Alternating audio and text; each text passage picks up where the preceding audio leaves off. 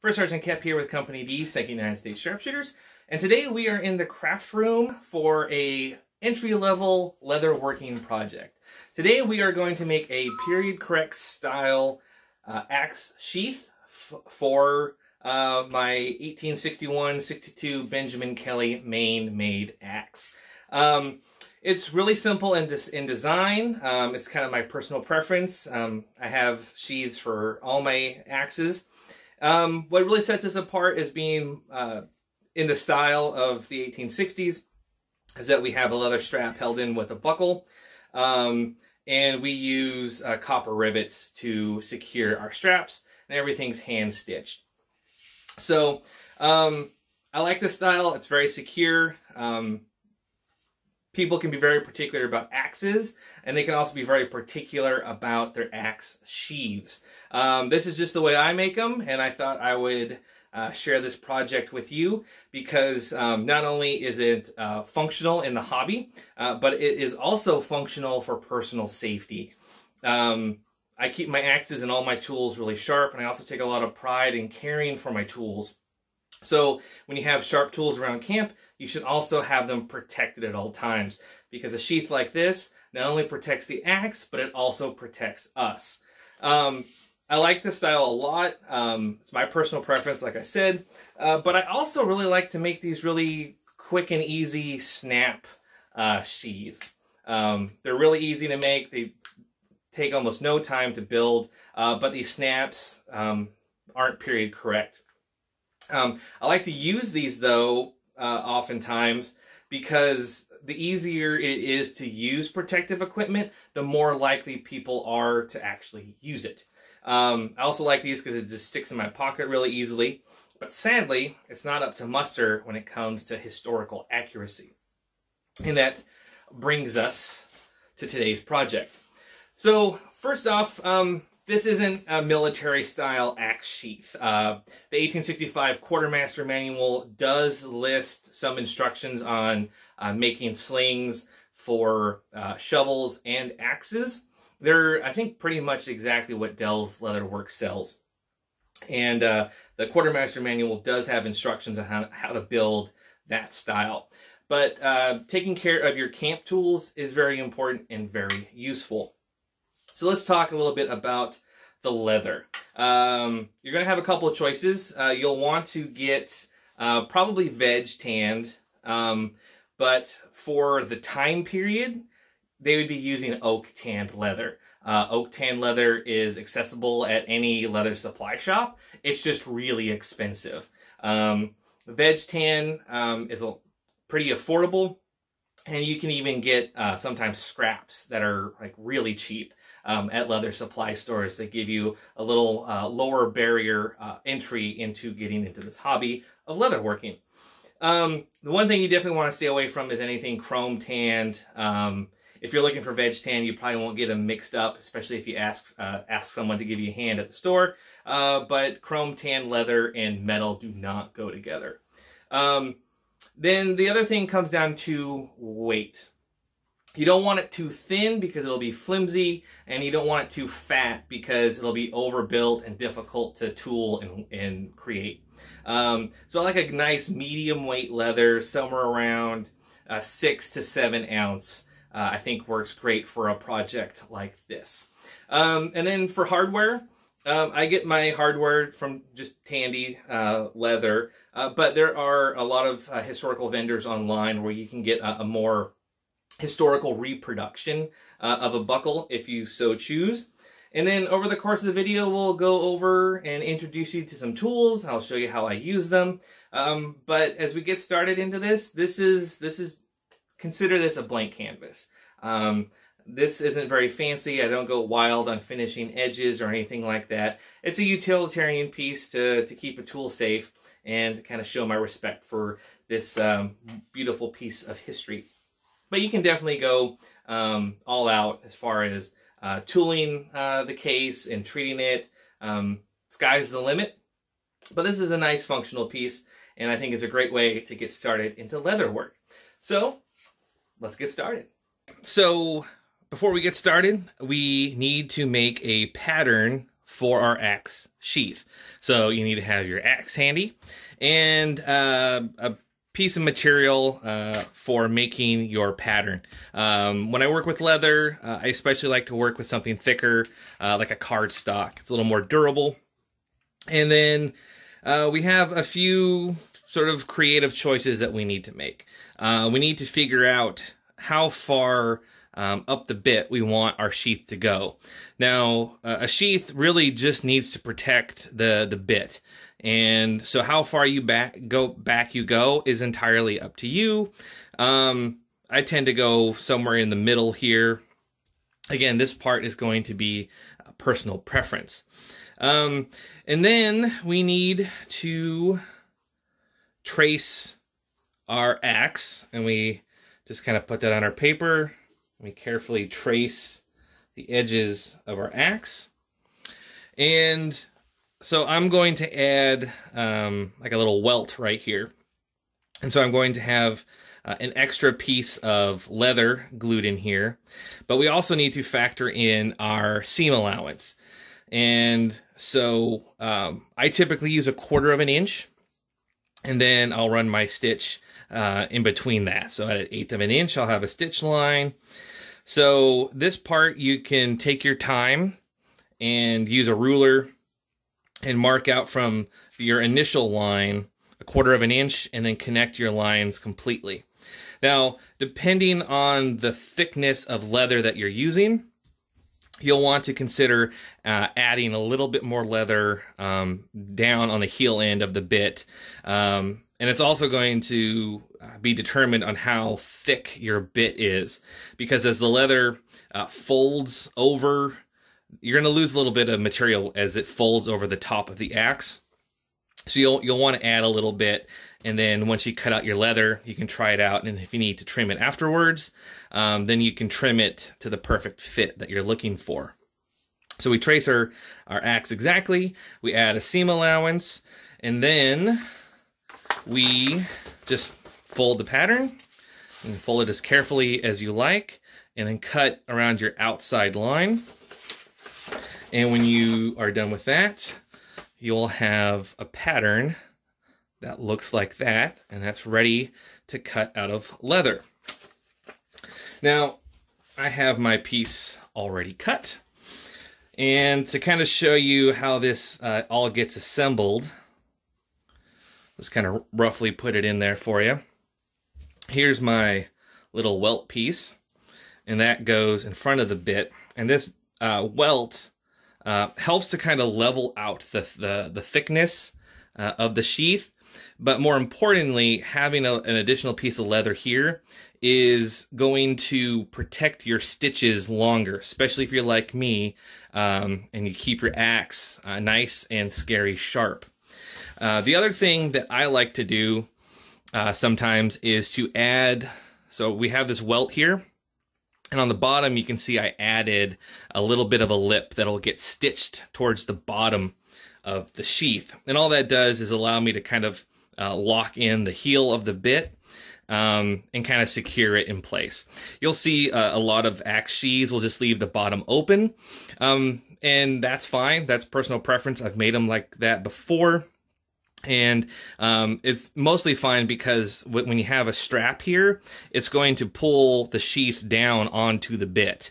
Um, so it, that system works fine, but I like to, to, sometimes just add a little bit more uh, just to kind of lock the sheath into place.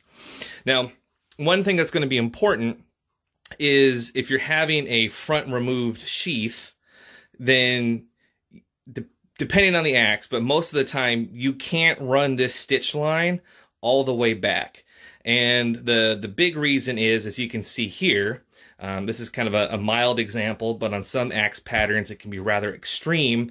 Um, the bit is considerably wider than the rest of the axe. So back here uh, at the at the pole, it's nice and narrow, and you have this big taper. So if you stitch all the way back, um, the bit won't fit into your sheath.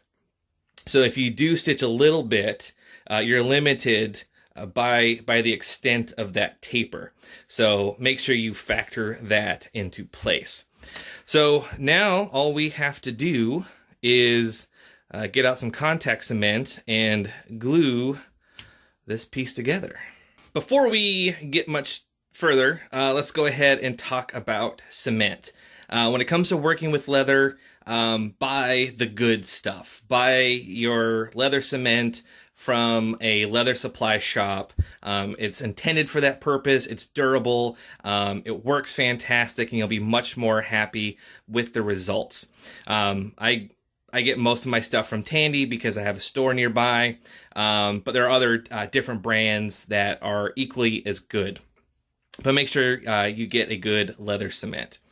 So before we get gluing, um, I like to give myself um, some uh, a, sort of like a baseline to work from.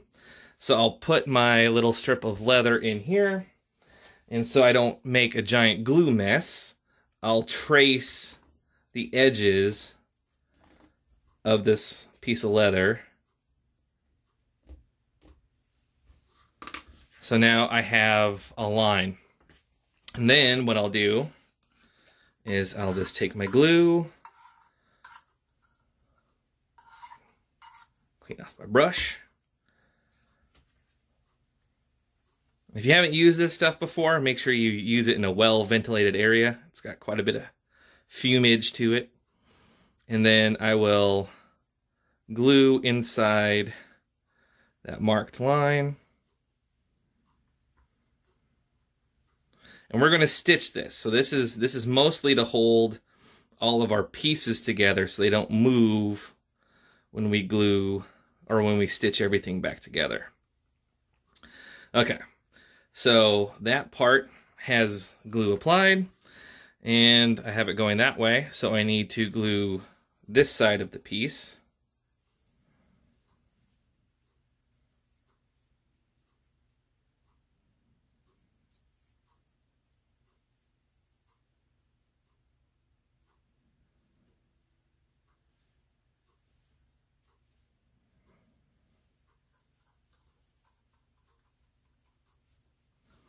Okay, now here's the important part.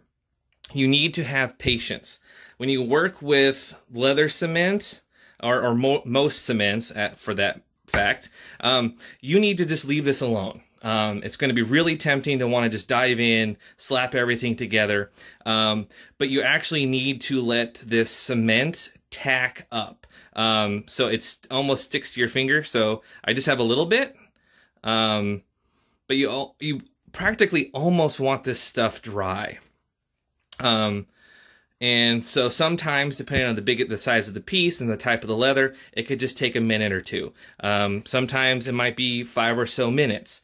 Uh, but you want to make sure that it, it, it has that nice uh, dry, can almost dry consistency, almost like um, like tape. And that's how you know you're going to be ready to adhere your pieces. You don't you don't want to glue your stuff together uh, when it's uh, all wet and slippery. So let it dry for a, for a moment, and then we can attach that piece to that piece. So my glue dried, and I attached my pieces. And because it's cement, once those two pieces touch, it's all over. They are stuck for good. Now it's time to glue the other side.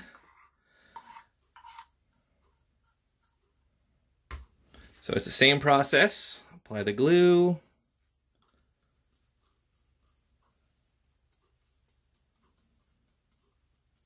Make sure you have nice thorough coverage. And then we'll come around to the other side.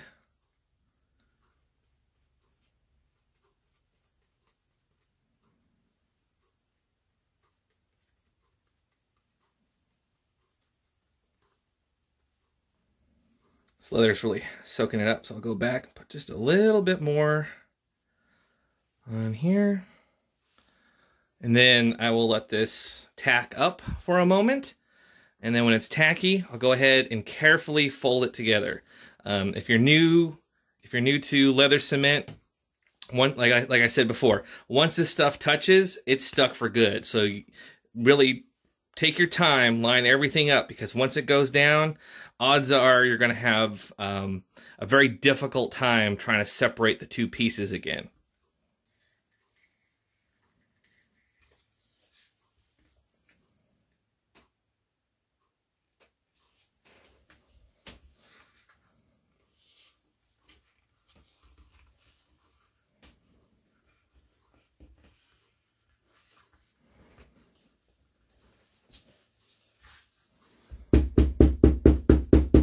I'm just giving it some light hammering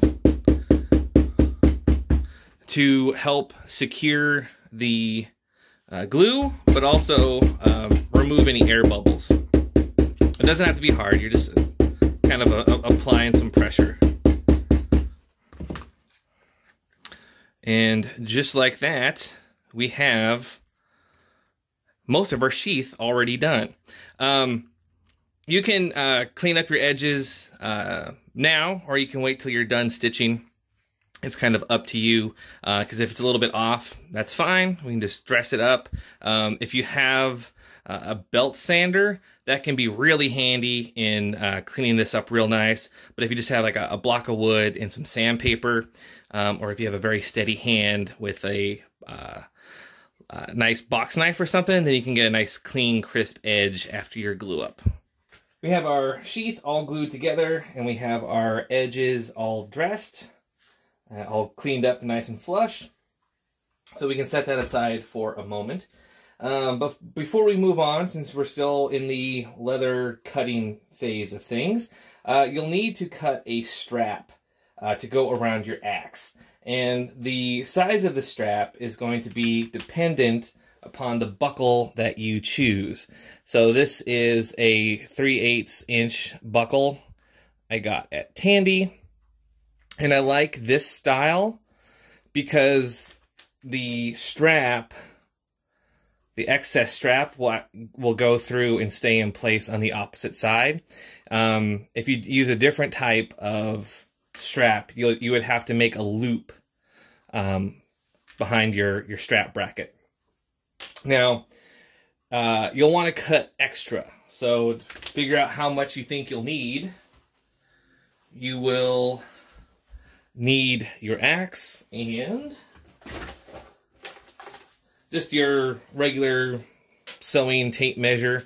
Um, if you don't have one of these, then you just uh, you can just use a length of string and cut it to length. So um, I figured this this came out about nine, eight, nine inches. Uh, so I went ahead and just cut it longer because we'll need a little bit more to secure our buckle into place. We'll need a little strap to hold this down. So go ahead and cut it longer. You can just use a straight edge and a box knife. Uh, but if you are, if you already have one, or you're looking at uh, building your leather toolkit, and you plan on cutting more straps for uh, belts or rifle slings, then getting a strap cutter is very handy. Um, you don't use it all the time unless you do this sort of thing, uh, but when you do need to use it, it is so fast. You just cut a straight edge on your hide and then butt this up to the size that you want and then just rip it down and it just takes seconds to get the perfectly sized strap that you need. But a straight edge and a box knife will work just fine. So that's the last bit of leather that you'll need to cut. So now we need to start talking about stitching and some tools. Um, a pair of dividers are just an essential part of a leather toolkit uh, because you can use these dividers to set your distance for your, your stitching. So you could just use this and scratch your line all around your piece. That works nice and simple. It's, it's pretty affordable. Um, the other thing that I prefer to use is a stitching groover.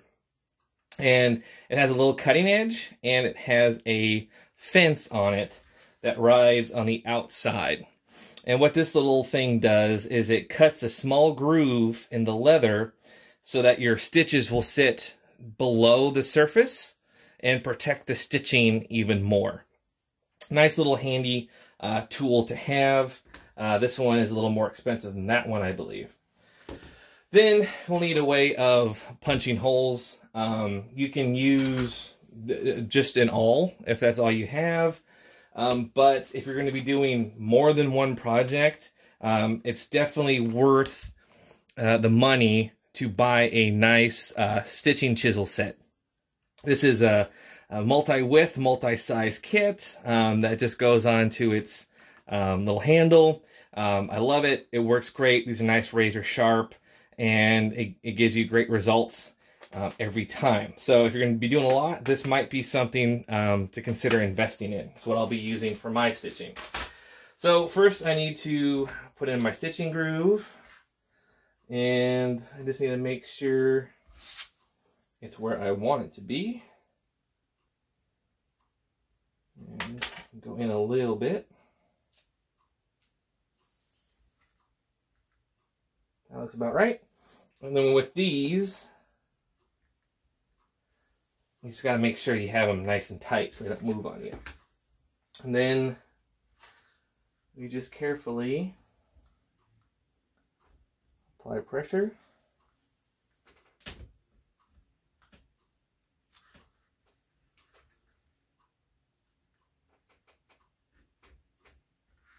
And just take your time. And you can hopefully see, well, probably not. Well, you'll get this little curl coming out as you make your groove.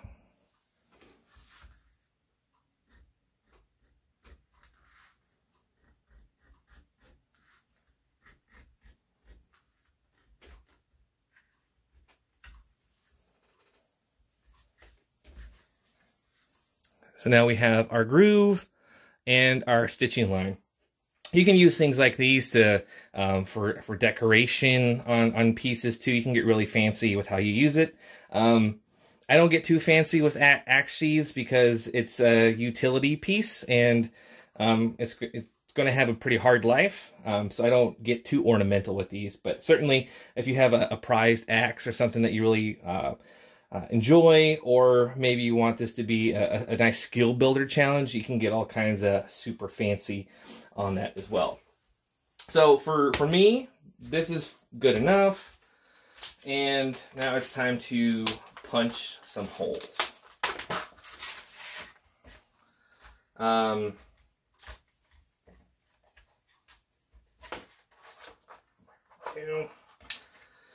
now, you'll see you have long ones, which are great for, uh, so you, you, can see right here, you you have your different stitch widths. Um, so you can choose your width.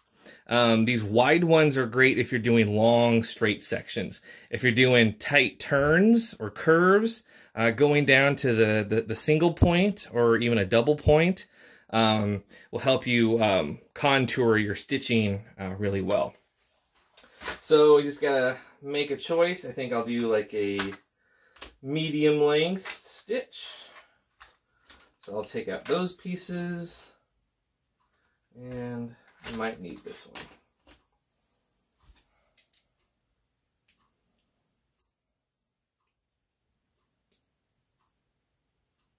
Now they sell uh, rawhide hammers, um, so you don't do this to your tools. So you don't mushroom the ends. Um, I I use I just use a metal hammer, uh, but there are uh, other soft blow hammers and uh, sort of like vinyl hammers that you could well probably should use, um, but I just use my metal hammer.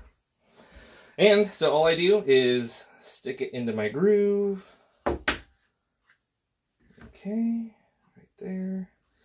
And you want to make sure it stays nice and vertical. And I'm not going to do this all on camera because it's going to be really loud you want to go through and you can see it comes through the other side. Now, if you're doing really thick stuff and maybe it doesn't come through, going back to a single point uh, will help uh, open up that hole a little bit more. So now I just have to follow my groove all the way around and then we'll get to stitching. Now we are ready to stitch. So I have my piece in a stitching pony.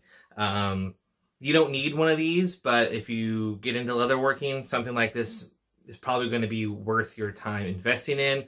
Um, these things can be ridiculously expensive for as simple as they are. Uh, so I, I made this one for a couple of bucks out of wood and some fasteners that I already had in my shop. Um, but what's nice is this keeps your um, work handy so you can focus on your stitching. It's always nice to keep a, uh, an awl handy in case you got to uh, clean out some holes as you go. So keep that handy. And then you'll need some thread. There's all sorts of choices when it comes to thread. Uh, I typically just use uh, wax linen thread that I already have um, in stock. And um, you can buy specialty leather needles. But uh, since I do so much sewing, I usually just grab my box of tapestry needles and use those and they work just fine. Um, for stitching leather, you essentially want a, a blunt tip needle. Uh, you don't want like the, the sharp Glover's needles uh, that can uh, tear or uh, damage your, your sewing. So uh, you can see I have two needles. We're going to saddle stitch this. So I have one piece of string and I have a needle on each end. Um, and so all I do is I go through one side, pull it through, make sure my ends are equal, and then I go to my next hole, come through there. Now, to show you, so I come through this way, and in that same hole, I'm going to come back through that same hole, going the opposite way. Just like that. I'm going to do that all the way to the end. And that's how you do a saddle stitch. So I'm through on that side, and I go back this way. Okay. And then you always want to make sure you pull nice and tight. And then go in your next hole, pull, come to the other side, and you got it.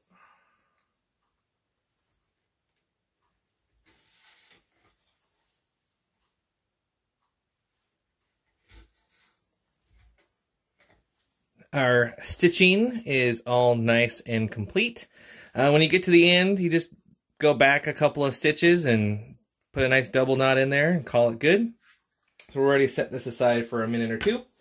And we need to address our buckle. Um, so I'm using this type. You can see the side that the bar goes on is slightly wider than the side that the strap goes on. And so in order to secure this, we need to put it in a piece of leather. Now, this is one of those situations you can use uh, lighter leather if you want, um, but I'm just all using the, the same size. And all you need to do is cut off a piece of your strap that you cut earlier. And you can cut a little long. It doesn't have to be perfect now. And you need to cut um, a portion out of the middle so that way the bar can work freely inside the strap here.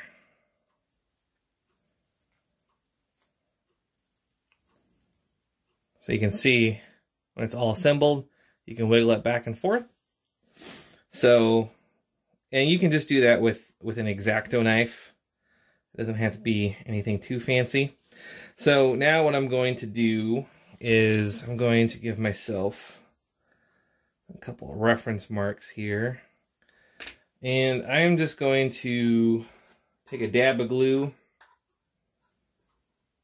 and glue these pieces together real quick.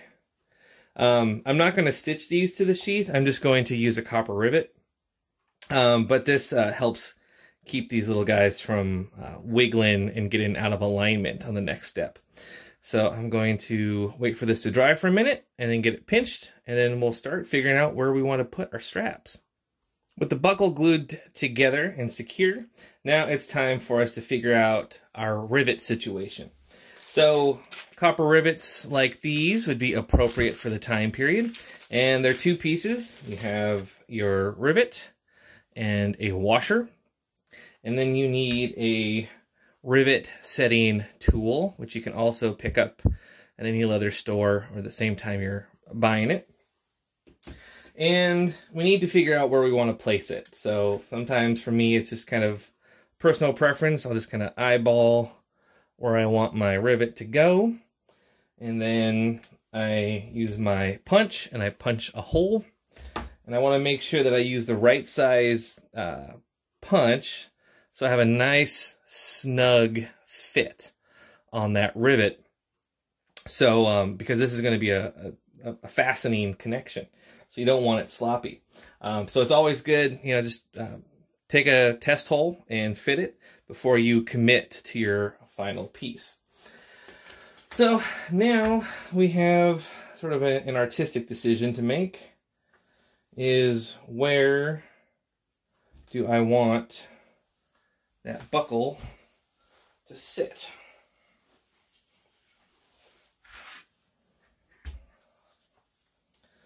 So I kind of want to have it angled, so it's kind of going back here. So that'll be nice in alignment. Maybe I don't want the buckle to be clanging on the bit. So yeah, maybe you're right about there. So what I'll do is I'll hold it and I'll mark the spot with my pencil. Now what I'll do is I'll punch through both sides of the leather. So then that way um, the strap and the buckle will line up on either side for nice uh, alignment. Let me go ahead and punch this out. With our hole punched, we are ready to start setting some rivets. So I'm going to start with the buckle. I'm going to come up from the inside like that. And then I'm going to stick my little anvil inside. Just like that. And then I need to take my buckle, slide that on. Of set it at the angle that I like. Just kind of double check. I'll be able to move it afterwards, but I just want to get it close the first time. Then I have my setting tool. So you have two holes on here.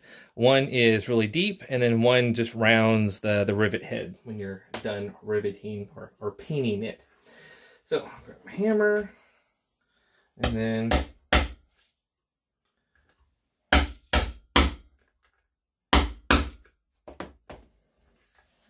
and that that sets.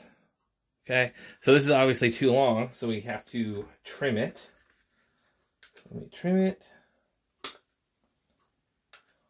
This is soft. I want to grab maybe something smaller might work.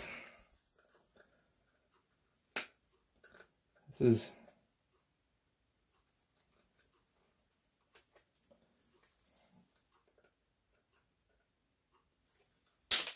There we go. So you don't need a whole lot of meat left on that rivet. So I still have my little anvil in there. I'm going to change hammers to a ball peen. Just like that. And I'm just going to take my time and peen this rivet over.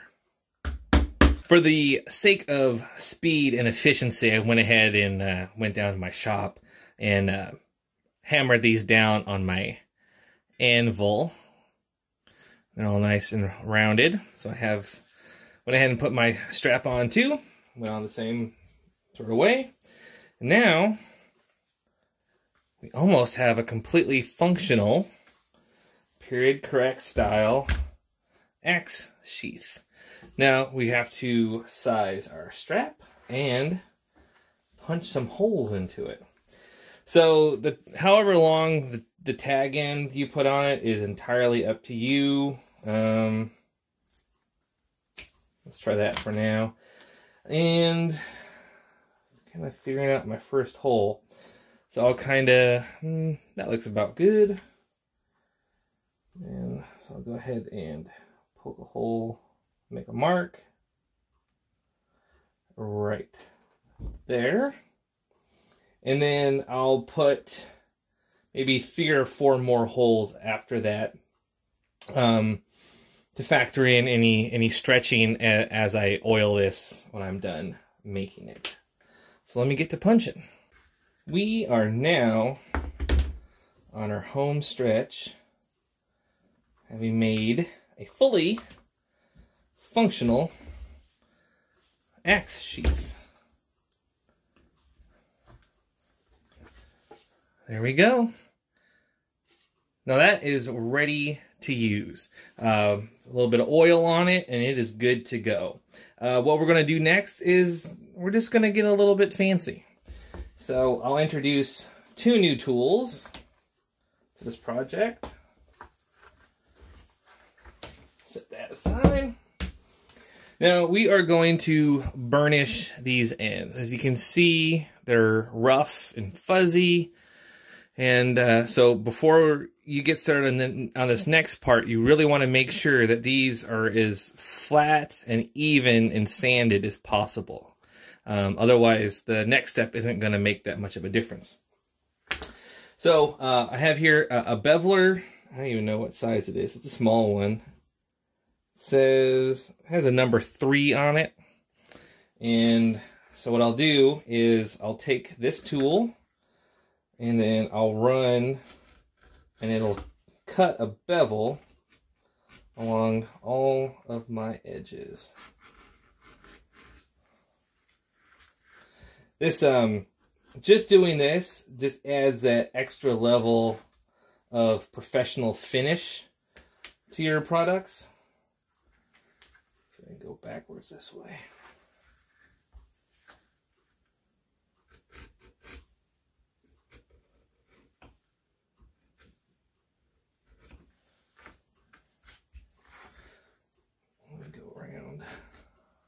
Now you can, uh, they, they make bevelers in all sorts of different sizes, depending on the, the size and type of project that you're doing.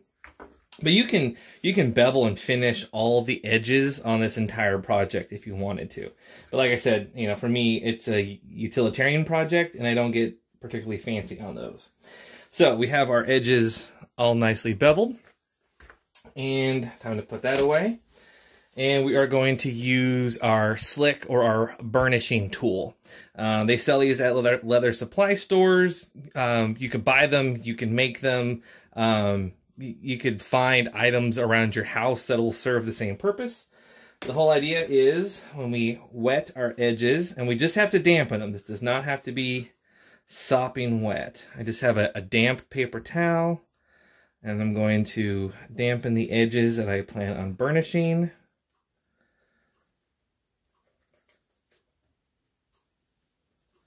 Okay. And normally you'll want to like have this on a nice flat edge. But since I'm going to show you how to do it, I'll just do it in my hand. Now, um, the trick for this is you find a section of your tool that will fit uh, the piece that you're trying to burnish. And it's not about pressure. It's about speed and friction. So don't bear down on this because otherwise you're going to get like this weird like mushroomed edge.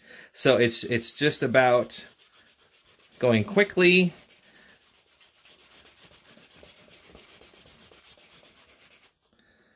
And you can already start to see the difference. So you have that raw leather here, and you can start to see the shine coming through.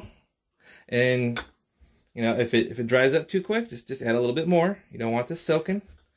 And then you just burnish until it's the appearance that you want it to be. And there you have it, our finished project. A nice period correct style axe sheath to keep our axe and us safe at events. Uh, I hope this uh, video has been enjoyable and informative.